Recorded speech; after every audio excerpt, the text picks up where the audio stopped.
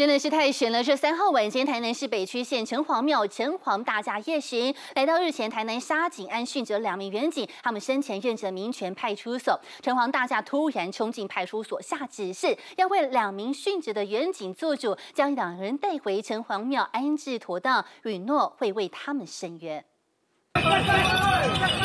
交班人员速度飞快，抬着神轿冲过马路，在民权所前停下来。看到你？看到你。刚刚看看这个叶叶叶花桃，叶花桃，你等下看这个。我我都看了。抬轿壮丁被城隍爷带着走。三号晚间，城隍大驾突然中断夜巡，直冲台南杀警案殉职员警涂明成、曹瑞杰生前服务的派出所，引起大批民众围观。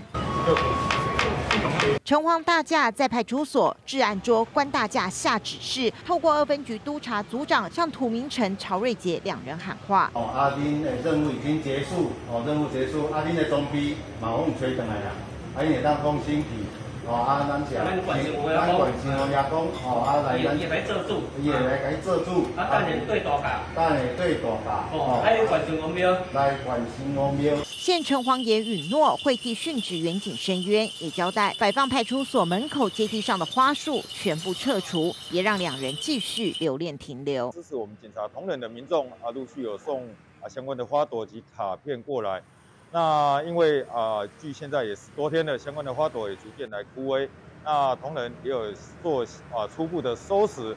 那相关啊民众所写的卡片，我们都逐一啊完整的收啊收起来以后啊，也转交给家属啊，将伴随着两名永警的灵柩。